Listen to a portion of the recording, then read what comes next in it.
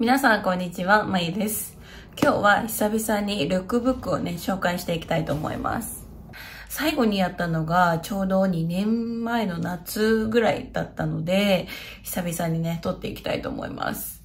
前回のルックブックは結構パパパパパッとコーディネートを紹介したんだけど、今回はスタイリングとかも含めて、眉なりのね、あの、コーディネートをね、組んでいけたらなと思っています。それではどうぞ。